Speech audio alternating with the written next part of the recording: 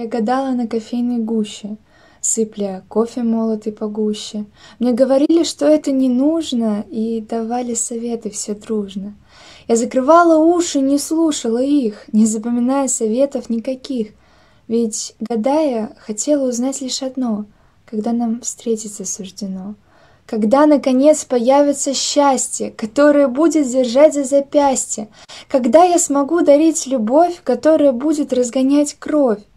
Надеюсь, мы скоро встретимся и звездами на небе засветимся.